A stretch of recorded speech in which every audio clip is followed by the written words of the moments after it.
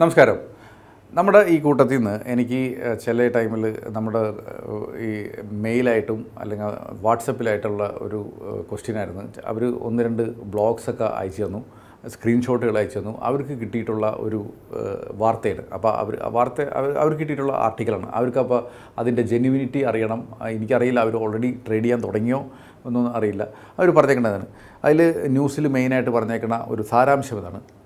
ഇരുപത്തെട്ട് വയസ്സുകാരനായ ഒരു റിച്ചസ്റ്റ് മാൻ ഇൻ ഇന്ത്യ ഇന്ത്യയിലത്തെ ഇരുപത്തെട്ട് വയസ്സായ റിച്ചസ്റ്റ് മാൻ ഇൻ ഇന്ത്യ എനിക്ക് അറിഞ്ഞൂടാ അതിന്റെ ഒരു മീനിങ് എന്താണെന്നുള്ളത്. അദ്ദേഹമാണോ ഇപ്പോഴത്തെ റിച്ചസ്റ്റ് മാൻ ആണോ? അതോ ഇരുപത്തെട്ട് വയസ്സുള്ള ഇതിൽ ഏറ്റവും പണക്കാരൻ അയാളാണോ എനിക്കറിയില്ല. അയാൾ പൈസ ഓൺലൈനിൽ ഉണ്ടാക്കുന്നു. അപ്പോൾ ഇതിൽ ഹെഡിങ് ഇങ്ങനെയാണ് ഇരുപത്തെട്ട് വയസ്സുള്ള ആൾ ഇരു twenty eight year old richest man in India making money online. ഇത് കഴിഞ്ഞിട്ട് പിന്നെ അവിടെ നിന്ന് കഥ തുടങ്ങിയാണ് ഇദ്ദേഹം ഒരു കഷ്ടപ്പെട്ട് പാർട്ട് ടൈം ജോബും പഠിത്തമായിട്ട് നടക്കിയിരുന്നു. ആ പഠിപ്പ് അദ്ദേഹത്തിന് കൊണ്ടുപോകാനായിട്ട് ബുദ്ധിമുട്ടായി തുടങ്ങി. ഈ ജോലിയും ഇതും കൂടിയും പറ്റുന്നില്ല. കുറേ കടങ്ങൾ കയറി.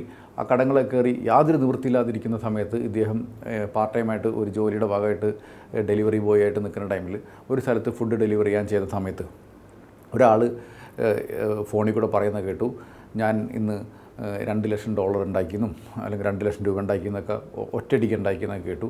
അപ്പോൾ ആൾ വളരെയധികം എന്താ പറയുക താല്പര്യത്തോടെ നോക്കി. അദ്ദേഹം ഫുഡ് ഡെലിവറി ചെയ്ത് പോയപ്പോൾ ബാക്കിയുള്ള പൈസ ടിപ്പായിട്ട് കൊടുത്തു. ഇദ്ദേഹത്തിന്റെ ഈ ലാവിഷ് ലൈഫ് കണ്ടപ്പോൾ ഇദ്ദേഹത്തിന് ഈ- ബോയ്ക്ക് തോന്നി. എന്തുകൊണ്ട് ഇദ്ദേഹത്തിൽ നിന്ന് ഈ ട്രേഡൊക്കെ പഠിച്ചുകൂടാന്നൊക്കെ തോന്നി. ഇദ്ദേഹം ഈ അയാൾ എന്താ ചെയ്തിരുന്നതെന്നൊക്കെ നോക്കി. അപ്പോൾ മനസ്സിലായി ഒരു സ്ക്രീനുണ്ട് സ്ക്രീനിൽ ഗ്രാഫ് കാണുന്നുണ്ട്. ഗ്രാഫ് കണ്ടിട്ട് കുറേ പ്രൈസ് അങ്ങോട്ടും ഇങ്ങോട്ടൊക്കെ പോകുന്നുണ്ട്. അത് യു എസ് ഡോളറും യൂറോപ്യൻ യൂറോ കറൻസിയാണ് അപ്പോൾ ഈ കറൻസിയിൽ ട്രേഡ് ചെയ്യുന്ന എടുത്തിട്ടാണ് ഇദ്ദേഹം കുറേ കാശ് എടുക്കു ഉണ്ടാക്കുന്നതും സമ്പാദിക്കുന്നതൊക്കെ ഇദ്ദേഹത്തിന് മനസ്സിലായി. അങ്ങനെ ഇദ്ദേഹവും അതിലേക്ക് ഇറങ്ങി. അദ്ദേഹത്തിന് ഇറങ്ങിക്കഴിഞ്ഞ് ഒരു മാസത്തിനുള്ളിൽ തന്നെ ഈ കടങ്ങളെല്ലാവരും വീട്ടാൻ പറ്റി. പിന്നെ ഇപ്പോൾ രണ്ട് മൂന്ന് വീട് വാങ്ങി കാറുകൾ വാങ്ങി. കാറുകൾ എന്ന് വെച്ചാൽ ലക്ഷൂറിയസ് കാർ ഇപ്പോൾ എന്താ പറയുക ബെല്ലി പിന്നെ ഫെറാറി. പിന്നെ ഫോട്ടോ കൊടുത്തിട്ടുണ്ട്. നല്ല സുന്ദരനായ ഒരു പയ്യൻ ഈ കാറുകളുടെ ഇടയിലിരിക്കുന്നു ലാപ്ടോപ്പിൽ വർക്ക് ചെയ്യുന്നു അവിടെ ഇരുന്ന് ട്രേഡ് ചെയ്യണ പോലെയൊക്കെയാണ് തോന്നുന്നത്. അപ്പോൾ ഇങ്ങനെ ഇദ്ദേഹം കാശുണ്ടാക്കുകയും രക്ഷപ്പെട്ടു എന്നാണ് പറയുന്നത്. ഇത്തരം ന്യൂസ് നിങ്ങൾക്ക് കിട്ടിക്കഴിഞ്ഞാൽ അവിടെ നേരെ ക്ലിക്ക് ചെയ്ത് തന്നെ ഈ പറഞ്ഞ ഏതാണോ ട്രേഡിംഗ് ചെയ്യണ സോഫ്റ്റ്വെയർ അതിലേക്ക് നമ്മൾ പോവുകയും നമുക്ക് രജിസ്റ്റർ ചെയ്ത് ട്രേഡ് ചെയ്യാനുള്ള ഫെസിലിറ്റി അവിടെ ഉണ്ട്. അപ്പോൾ ഇത്തരം ന്യൂസ് നമ്മുടെ കൂട്ടത്തിൽ ആരെങ്കിലും കേട്ട് കഴിഞ്ഞാൽ നിങ്ങളത് എക്സ്പ്ലോർ ചെയ്ത് മെമ്പർഷിപ്പ് എടുത്തിട്ട് ഇത് ശരിയാണോ തെറ്റാണോ നോക്കൂ. അങ്ങനെ നോക്കൂ എന്നുള്ളവരാണെന്നുണ്ടെങ്കിൽ ഒന്ന് കമന്റിൽ പറയാം ഞാൻ നോക്കും എനിക്കറിയണമെന്ന് താല്പര്യമുണ്ടെന്നുള്ളത്. ഇനി അതല്ല നിങ്ങൾ അത് മൈൻഡ് ചെയ്യത്തില്ല ഇത് തട്ടിപ്പടെന്ന് വിചാരിച്ചിട്ട് മാറി നിൽക്കുമോ ഇനി അതല്ല നിങ്ങൾ എന്താ പറയുക ഒന്ന് പൈസ ഇട്ട് നോക്കാം എന്താണെന്ന്. ആ നിങ്ങൾ ഏത് കാറ്റഗറി പെടുന്നത് എന്നുള്ളത് നമ്മുടെ ചാറ്റിൽ പറഞ്ഞാൽ കൊള്ളാം. അപ്പോൾ ഇതിൽ ഞാൻ ഈ ആർട്ടിക്കിൾ നോക്കിയപ്പോൾ എനിക്ക് ഒരാൾ മാത്രമല്ല അയച്ചത്. എനിക്ക് രണ്ട് മൂന്ന് പേര് ഇത് എന്നെ സംബന്ധിച്ചുള്ള ആർട്ടിക്കിൾ അയച്ചു തരുന്നത്. എല്ലാ ആർട്ടിക്കിളും വായിച്ചാലും സ്റ്റോറി ഒന്ന് തന്നെ. ഇരുപത്തെട്ട് വയസ്സ് മേക്കിംഗ് മണി ഓൺലൈൻ. ഇപ്പം ഞാൻ ഈ പറഞ്ഞ സ്റ്റോറി എല്ലാം ഒന്ന് തന്നെ. അതിൽ ആകെ ഒരു വ്യത്യാസം എന്ന് വെച്ചാൽ ചിലതിൽ പേരും വ്യത്യാസമുണ്ട് സിറ്റിയും വ്യത്യാസമുണ്ട്. ആ ഇരുപത്തെട്ട് വയസ്സുള്ള ബോയ് എന്ന് പറഞ്ഞാൽ ആ പേര് ഒന്നായിരിക്കും ചിലതിൽ ആ സിറ്റി ചിലത് എറണാകുളത്താണ് ചിലത് ബാംഗ്ലൂരാണ് ചിലത് ബോംബെയിലാണ്. അങ്ങനെ സിറ്റികൾ പലതാണ് ഇപ്പോൾ എറണാകുളത്തുള്ള ഓഡിയൻസിനായിരിക്കും എറണാകുളം വെച്ചിട്ട് വയ്ക്കുന്നത് അല്ലെങ്കിൽ ഇപ്പോൾ അല്ലെങ്കിൽ അങ്ങനെ ഇരിക്കില്ല. കാരണം ആ പേര് കേട്ടാൽ തന്നെ അറിയാം എറണാകുളത്തെ ആൾക്കാർ ആൾക്കാരുടെ പേരല്ല. ആ പയ്യന്റെ മുഖം കണ്ടാൽ അറിയാം അവൻ എറണാകുളത്തുകാരനല്ല എന്നുള്ളത്. ഇപ്പോൾ ചിലപ്പോൾ ഡൽഹിയിലത്തുള്ള ആൾക്കാർക്കായിരിക്കും ഈ എറണാകുളത്തുകാരന്റെ വെച്ച് അയച്ചു കൊടുക്കുന്നത്. കൊച്ചിക്കാർക്കായിരിക്കും ഈ ബോംബെയിലത്തെയും കൽക്കട്ടയിലത്തെയൊക്കെ അയച്ചു കൊടുക്കുന്നത്. അപ്പോൾ ഇങ്ങനെ അയച്ചു തരികയും ഇപ്പോൾ എസ്പെഷ്യലി എന്റെ അടുത്ത് വന്ന ഒരാളെന്ന് വെച്ചാൽ അദ്ദേഹം അമ്പത് വയസ്സുള്ള ഒരാളാണ്. അദ്ദേഹത്തിന്റെ മകൻ എഞ്ചിനീയറിംഗ് കോളേജിൽ പഠിക്കുന്നു. ഇദ്ദേഹത്തിന്റെ ഫ്രണ്ട്സായിട്ട് കണ്ടിട്ടാണ് ഇവർ കൊണ്ടുവന്നത്. അപ്പോൾ ഇവർക്ക് തോന്നി എന്തുകൊണ്ട് നമുക്കും ഇതിൽ ചെയ്തുകൂടാ? ഈ എന്താ പറയുക ക്രിപ്റ്റോ കറൻസി എന്ന് കേൾക്കുന്നു കറൻസി എന്ന് കേൾക്കുന്നു സാധാരണ യു ഡോളർ എന്ന് കേൾക്കുന്നു യൂറോ എന്ന് കേൾക്കുന്നു അങ്ങനെ ഒത്തിരി ഒത്തിരി കാര്യങ്ങൾ കേൾക്കുന്നു. ഇതെല്ലാവരും പൈസ ഉണ്ടാക്കാൻ പറ്റും. ശരിയാണ് ആക്ച്വൽ ഡോളറിന്റെ പ്രൈസ് പോണ പോലെ തന്നെയാണ് പോകുന്നത്.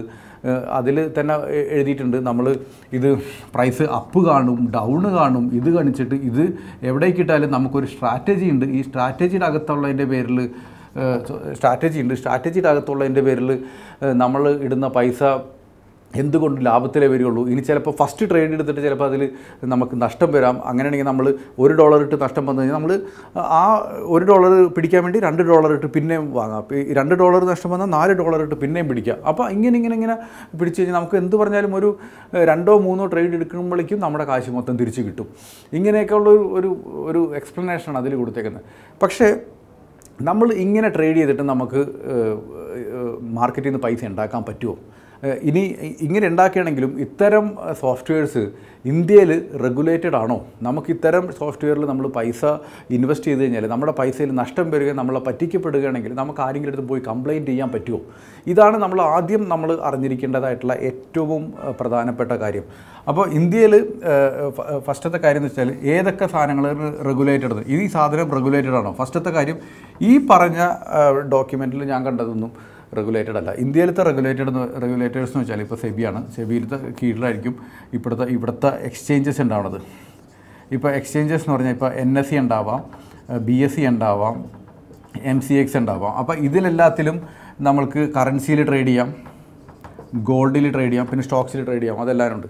അപ്പോൾ ഈ പറഞ്ഞ രണ്ടെണ്ണത്തിനാണ് മെയിനായിട്ട് ഇതിൽ അധികം കാശ് ഉണ്ടാക്കാമെന്ന് പറഞ്ഞത്. അപ്പോൾ ഇതിൽ നിന്ന് ഈ പറഞ്ഞ എത്ര ട്രേഡ് ചെയ്യണമെന്നുണ്ടെങ്കിലും നമുക്ക് ഫസ്റ്റ് ഓഫ് ഓൾ നമുക്ക് അത്രയും നോളജും എക്സ്പീരിയൻസും വേണം. പിന്നെ ഈ പറഞ്ഞ പോലെ ഈ സ്ട്രാറ്റജിയും കാര്യങ്ങളൊന്നും എടുത്തിട്ട് എന്താ പറയുക എപ്പോഴും ഷുവർ ഷോർട്ട് പ്രോഫിറ്റ് ആയിട്ടുള്ളൊരു പരിപാടി ഇവിടെ ഇല്ല. എത്രയും എക്സ്പീരിയൻസ് ആയിട്ടുള്ള എന്താ പറയുക ഒരു പത്ത് വർഷം പതിനഞ്ച് വർഷം ഇരുപത് വർഷം എക്സ്പീരിയൻസ് ആയിട്ട് ട്രേഡ് ചെയ്യുന്ന ഒരാൾക്ക് പോലും എൻഷുർ ചെയ്താൽ പറ്റില്ല ഈ സ്ട്രാറ്റജി ഉണ്ടെങ്കിൽ നമുക്ക് എപ്പോഴും പ്രോഫിറ്റേ ഉണ്ടാവുള്ളൂ എന്നുള്ളത്. അതുപോലെ ഇത്രയും നാളായിട്ടും എന്താ പറയുക ഒരു മാസം കൊണ്ട് ഫുൾ എന്താ പറയുക ഒരു ഫുൾ ടേൺ ഓവർ ഉണ്ടായി ഇന്ത്യയിലത്തെ ഏറ്റവും വലിയ പണക്കാരനായി. അങ്ങനെ ഒരു സാധനം ഈ റെഗുലേറ്റഡ് മാർക്കറ്റിൽ നിന്ന് ഉണ്ടാക്കാൻ പറ്റില്ല. ഇനി മറ്റുള്ള മാർക്കറ്റിൽ നിന്ന് നമ്മൾ പൈസ ഉണ്ടാക്കണമെന്നുണ്ടെങ്കിൽ ഇപ്പോൾ നമ്മൾ പറയുന്നു ഇത് ഫസ്റ്റത്തെ കാര്യം റെഗുലേറ്റഡ് ആണോ അല്ല എന്നുള്ളത്? ഈ പറഞ്ഞ ഈ കാറ്റഗറിയിലാണെങ്കിൽ മാത്രമേ ഇന്ത്യയിൽ ട്രേഡിംഗ് റെഗുലേറ്റഡ് ഉള്ളൂ. ഇനി അല്ലാന്നുണ്ടെങ്കിൽ റെഗുലേറ്റഡ് അല്ലാന്നുണ്ടെങ്കിൽ ഉള്ള പ്രശ്നം പറഞ്ഞു കഴിഞ്ഞാൽ നമ്മൾ ആ പൈസ ഉണ്ടാക്കി കഴിഞ്ഞാൽ നമുക്ക് ഏത് വിധത്തിൽ നമ്മൾ ഇൻകം ടാക്സ് ഡിപ്പാർട്ട്മെന്റിനെ കാണിക്കും. ഇനി നമ്മുടെ ഇന്ന് പൈസ പോയി കഴിഞ്ഞ് കഴിഞ്ഞാൽ നമുക്ക് ഈ പറഞ്ഞ പരിപാടി ഏത് ഫോറത്തിൽ പോയിട്ട് നമ്മൾ കംപ്ലയിന്റ് ചെയ്യും? എന്റെ പൈസ പോയി. അല്ലാന്നുണ്ടെങ്കിൽ എനിക്ക് എന്തെങ്കിലും ഒരു ഒരു ഒരു ഡിഫറൻസ് ഓഫ് ഒപ്പീനിയൻ ഉണ്ട് എനിക്ക് വന്ന പ്രൈസിൽ ഇത് നമ്മൾ ആരോടത്ത് പോയി ചോദിക്കും? ഇത് ഏറ്റവും ആദ്യം നമ്മൾ മനസ്സിലാക്കണം. നമ്മളപ്പോൾ ഓരോ ഇൻവെസ്റ്റ്മെന്റിലേക്ക് പോകുന്നതിനേക്കാളും മുന്നേ നമ്മൾ മനസ്സിലാക്കേണ്ട കാര്യം നമ്മുടെ പൈസ നമ്മളൊരാൾക്ക് കൊടുക്കുന്ന സമയത്ത് എന്താണ് ലീഗലായിട്ടുള്ള രേഖ? നമുക്ക് അങ്ങോട്ട് പൈസ കൊടുത്തു. നമ്മൾ ഇനി ഇതിനെ പറ്റിയിട്ട് ഫർദർ എന്തെങ്കിലും ഡിസ്പ്യൂട്ട് ഉണ്ടെങ്കിൽ നമ്മൾ ആരെടുത്ത് പോയി കംപ്ലയിന്റ് ചെയ്യും? ഇത്തരം ഈ- പറഞ്ഞ ഈ ഇപ്പോൾ ഇങ്ങനത്തെ ബ്ലോഗിൽ കാണുന്ന ആർട്ടിക്കിളിലൊക്കെ എവിടെയും സെബിന്നോ നാഷണൽ സ്റ്റോക്ക് എക്സ്ചേഞ്ചിൽ നിന്നോ ബോംബെ സ്റ്റോക്ക് എക്സ്ചേഞ്ചിൽ നിന്നോ എം സി എക്സിൽ നിന്നോ എവിടെയും ഞാൻ ആ പേരുകളൊന്നും കണ്ടില്ല. ഇതല്ലാന്നുണ്ടെങ്കിൽ ഇന്ത്യയിലാണ് നമ്മൾ ഈ പറഞ്ഞ ട്രേഡ് ചെയ്യണമെന്നുണ്ടെങ്കിൽ നടക്കില്ല. പിന്നെ ഈ ട്രേഡ് ചെയ്തിട്ട് എന്താ പറയുക വലിയൊരു ലാഭമൊന്നും ഉണ്ടാക്കാനായിട്ട് പറ്റത്തില്ല. അതിന് അത്രമാത്രം എക്സ്പീരിയൻസ് ഉണ്ടാവണം അത്രമാത്രം ബൾക്ക് ഓഫ് മണി നമ്മുടെ അടുത്ത് ഉണ്ടാവണം. അങ്ങനെയാണെങ്കിൽ മാത്രമേ നമുക്ക് ഈ പറഞ്ഞ പൈസ ഉണ്ടാക്കാൻ പറ്റുള്ളൂ. ഇപ്പോൾ നിങ്ങളിപ്പോൾ ഒരു ഒരു മാന്യമായിട്ടൊരു ജോലി ചെയ്യുന്ന ആളാണ് ഒരു പത്തൊമ്പതിനായിരം രൂപ ശമ്പളം ഉണ്ടാക്കുന്ന ആളാണ് അല്ലെങ്കിൽ ഒരു ലക്ഷം രണ്ട് ലക്ഷം മൂന്ന് ലക്ഷം രൂപ ശമ്പളം ഉണ്ടാക്കുന്ന ആളാണെന്നുണ്ടെങ്കിൽ നിങ്ങൾക്ക് ആ ജോലിയിൽ തന്നെ നിങ്ങൾക്ക് ആവശ്യത്തിൽ കൂടി റെസ്പോൺസിബിലിറ്റി ഉണ്ടാവും. ആ റെസ്പോൺസിബിലിറ്റി കഴിഞ്ഞിട്ട് നിങ്ങൾ ഈ സമയത്തിൽ നിങ്ങൾ ഈ ട്രേഡിനും കാര്യങ്ങൾക്കും പോയി കഴിഞ്ഞാൽ ആൻഡ് വിത്തൗട്ട് ഈ പറഞ്ഞ നോളജ് ഒന്നും ഇല്ലാതെ പോയി കഴിഞ്ഞാൽ ഡേ വൺ ഓൺ ഓൺവേഴ്സ് നിങ്ങൾക്ക് ഒരിക്കലും പൈസ ഉണ്ടാക്കാൻ പറ്റില്ല. ഞാനിപ്പോൾ ഈ പറഞ്ഞ സോഫ്റ്റ്വെയർസ് ഒന്നും നല്ലതാണെന്നോ ചീത്തയാണെന്നോ ഒന്നും ഞാൻ പറയുന്നില്ല. ആദ്യത്തെ കേസ് എനിക്ക് പറയാനുള്ള ഒരേ ഒരു കാര്യമുള്ളൂ. ഈ ആർട്ടിക്കിൾ എല്ലാം ഞാൻ കണ്ടതിൽ ഇൻഫോർമേഷൻ തന്നേക്കണതിൽ ഒരു കറക്റ്റ് അല്ലാന്ന് തോന്നുന്നു. കാരണം സെയിം ആർട്ടിക്കിൾ സെയിം പേര് സിറ്റീസ് മാറ്റി പറഞ്ഞിരിക്കുന്നു. അപ്പോൾ എനിക്ക് ആ ആ പറഞ്ഞ അഡ്വർടൈസ്മെന്റിന്റെ ജെനുവിനിറ്റിയിൽ സംശയമുണ്ട്. കാരണം വെവ്വേറെ അപ്പോൾ തന്നെ നമുക്കറിയാൻ പറ്റും. ഈ സെയിം സ്റ്റോറി വേറെ വേറെ സ്ഥലത്ത് നിന്ന് പറയുമ്പോൾ തന്നെ നമുക്കറിയാം. ഈ സ്റ്റോറി കുക്ക്ഡപ്പ് സ്റ്റോറിയാണ് ഈ സ്റ്റോറി നല്ലതല്ല. ഫസ്റ്റത്തെ കാര്യം. ഇനി രണ്ടാമത്തെ കാര്യം ഇതിലത്തെ റെഗുലേറ്ററി ബോഡി ഒരു ഒരു കാര്യവും അതിൽ കാണുന്നില്ല. നമ്മൾ ഇപ്പോൾ ഈ പറഞ്ഞ ഇത്തരം ഇതിൽ നോക്കുന്ന ടൈമിൽ ഫസ്റ്റ് നോക്കേണ്ട കാര്യമുണ്ടല്ലോ ഇതെന്താണ് പരിപാടി? ഇതിന്റെ റെഗുലേറ്റർ ആരാന്ന് നിങ്ങൾക്ക് ചെക്ക് ചെയ്യാനായിട്ട് പറ്റുന്നുണ്ടോ? കാരണം ഈ പറയുന്ന ട്രേഡ് എവിടെയാണ് നടക്കുന്നത്? ഏത് എക്സ്ചേഞ്ചിലാണ് നടക്കുന്നത്? ആ എക്സ്ചേഞ്ചിന് ആരാണ് മോണിറ്റർ ചെയ്യുന്നത്? ആരാണ് റെഗുലേറ്റ് ചെയ്യുന്നത് ഈ പറഞ്ഞ സാധനം എവിടെയും നിങ്ങൾക്ക് കണ്ടെത്താൻ പറ്റില്ല.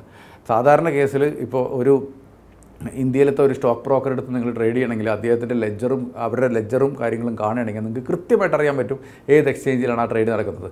ആ എക്സ്ചേഞ്ചിന്റെ വെബ്സൈറ്റിൽ പോയി കഴിഞ്ഞാൽ കൃത്യമായിട്ട് അറിയാൻ പറ്റും എക്സ്ചേഞ്ച് ഏത് റെഗുലേഷന്റെ കീഴിലാണ് വരുന്നത് എന്നുള്ളത്. ഇനി എന്തെങ്കിലും കാര്യം എക്സ്ചേഞ്ചിനോ അല്ലെങ്കിൽ ബ്രോക്കർക്ക് എതിരെ കംപ്ലയിന്റ് കൊടുക്കണമെങ്കിൽ സെബിയുടെ ഇമെയിലും കാര്യങ്ങളും കൃത്യമായിട്ടുണ്ടാവും.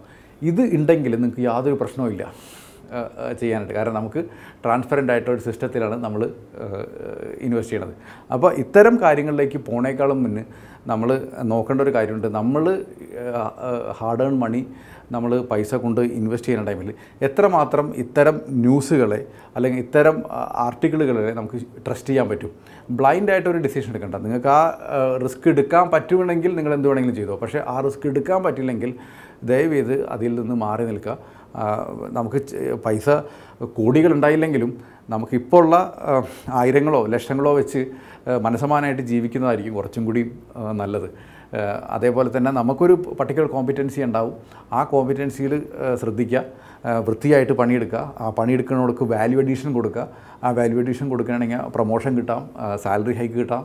അതിൽ നിന്ന് വരുന്ന പൈസയിൽ നിന്ന് കുറച്ച് ഭാഗം മാറ്റി വയ്ക്കുക എന്നിട്ട് എന്താ പറയുക നല്ല ബാങ്കിന്റെ സഹായത്തോടെ അതിൽ ഇൻവെസ്റ്റ് ചെയ്യുക റെഗുലേറ്റഡ് ആയിട്ടുള്ള ഇൻസ്ട്രുമെന്റുകളിൽ മ്യൂച്വൽ ഫണ്ടോ അല്ലെങ്കിൽ സ്റ്റോക്സോ അല്ലെങ്കിൽ ബാങ്ക് എഫ് ഡിയോ അല്ലെങ്കിൽ പോസ്റ്റ് ഓഫീസിലോ ഇൻവെസ്റ്റ് ചെയ്യണതോ അല്ലെങ്കിൽ ഗവൺമെന്റ് സ്കീമുകളിലോ മറ്റും ഇൻവെസ്റ്റ് ചെയ്തിട്ട് നിങ്ങൾ നിങ്ങളുടെ പൈസ കുറച്ചീശെ കുറച്ചീശെ ഗ്രോ ചെയ്ത് നിങ്ങളുടെ ലൈഫിൽ ഉണ്ടാക്കേണ്ട ഓരോ ഗോൾസുകൾക്കും വേണ്ടി ചെയ്യുക. ഇനി അതല്ല നിങ്ങൾക്ക് ജോലി മാത്രം പോരാ ബിസിനസ് ചെയ്യണമെങ്കിൽ ഈ പൈസ എടുത്ത് ബിസിനസ് ചെയ്യാനുള്ള ക്യാപിറ്റലിലേക്ക് മാറ്റുമോ എന്നിട്ട് അതിൽ നിന്ന് ബിസിനസ് ചെയ്യൂ അങ്ങനെയൊക്കെ ചെയ്യണമെന്നുണ്ടെങ്കിൽ കുറച്ചും കൂടി നന്നായിട്ട് ചെയ്യാൻ പറ്റും. ഇത്തരം കാര്യങ്ങൾ പാർട്ട് ടൈമായിട്ട് ചെയ്യാം എന്നുള്ള ഒരു ഒരു ന്യൂസ് പലവരിലേക്കും വരുന്നുണ്ട് അല്ലെങ്കിൽ കോൺഫിഡൻസ് പലവരിലേക്കും വരുന്നുണ്ട്. യങ്സ്റ്റേഴ്സൊക്കെ ഡിഗ്രിക്കൊക്കെ പഠിക്കണ ഒത്തിരി പിള്ളേർ ഇതിന്റെ പുറകെ പോകുന്നുണ്ട്. അപ്പോൾ പേരൻസ് ആയാലും പിള്ളേരായാലും കാശൊക്കെ അധികമായിട്ട് ഇത്തരം കാര്യങ്ങളിൽ കൊണ്ടുപോയിടണമെന്നുണ്ടെങ്കിൽ എപ്പോഴും ബി അലർട്ട്. വളരെ സൂക്ഷിച്ച് ചെയ്യുക. ഇത് ഹാർഡ് ഏൺ മണിയാണ് ഇത് ലൂസ് ചെയ്ത് കഴിഞ്ഞാൽ നിങ്ങൾക്ക് ആരടുത്തും പോയിട്ട് കംപ്ലയിന്റ് ചെയ്യാനുള്ള ഓപ്ഷൻസ് ഇല്ല. നിങ്ങൾ ഇവൻ പോയിട്ട് ആരടുത്ത് കംപ്ലയിന്റ് ചെയ്താലും അവർക്ക് പോലും അത് ട്രേസ് ചെയ്യാനോ കംപ്ലയിന്റ് സ്വീകരിക്കാനും പറ്റത്തില്ല.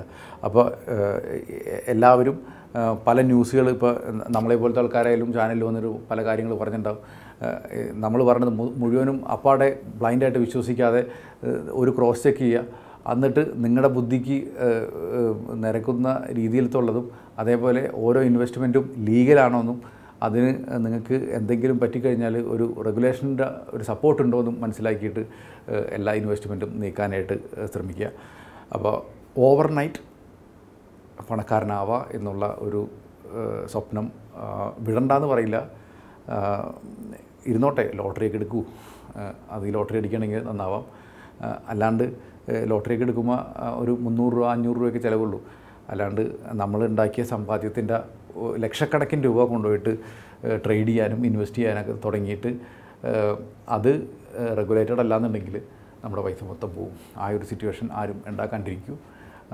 എല്ലാവർക്കും നന്നായിട്ട് വൈസായിട്ട് എഡ് ചെയ്യാനും സേവ് ചെയ്യാനും ഇൻവെസ്റ്റ് ചെയ്യാനും പറ്റട്ടെ. എല്ലാവരും നന്നായിട്ട് വെൽത്ത് ക്രിയേറ്റ് ചെയ്യാൻ പറ്റട്ടെ എന്ന് ആശംസിച്ചുകൊണ്ട് ഇന്നത്തെ ടോപ്പിക്ക് ഇവിടെ നിർത്തുന്നു.